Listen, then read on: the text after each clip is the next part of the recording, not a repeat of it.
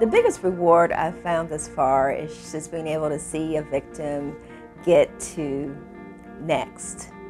get to thereafter. Um, anytime you're dealing with family law, it's going to be a, a, process of kind of navigating through. But um, I've had some really good success stories where I've seen them not only get out of